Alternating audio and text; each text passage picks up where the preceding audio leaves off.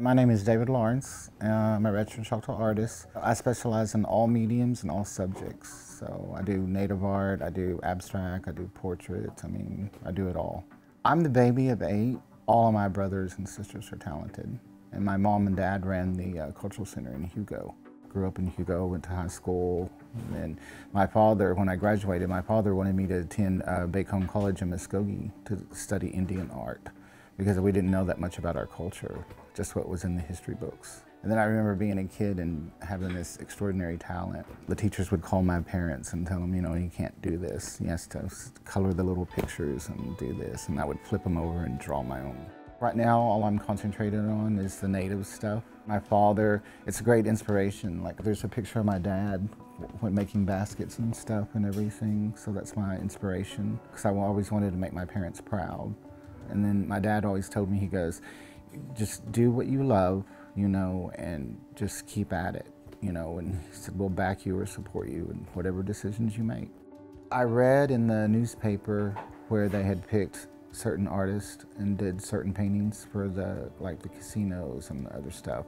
And my sister Dora had seen the, the work they had done in the casino. And she's like, you should try to put your art in there. So I started making phone calls and I contacted um, Sheila Kirven. That's how it all started. You know, I did the Heritage Day in Durant, and then we did the, there was an art show at Wheelock Academy, we did that. My paintings have heart and soul.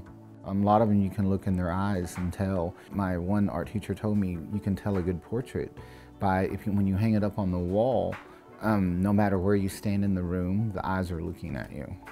But I really put a lot of emphasis on the eyes.